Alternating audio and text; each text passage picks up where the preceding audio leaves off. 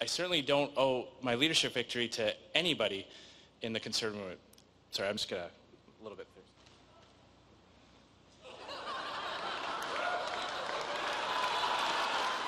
Such a great moment. I want to reach Canadians who believe in our ideas and use all the platform available to do that. I'm using social media, I'm using Facebook, I'm using Twitter. It's all the same ideas, but speaking, uh, speaking to Canadians that are, I'm, I'm with you today, and I'm speaking to your people at home right now, and I want to have the opportunity to reach more Canadians. You know, we're at 10% in the poll right now, a new party. My goal is to grow that and to be the alternative of the, for the Trudeau government.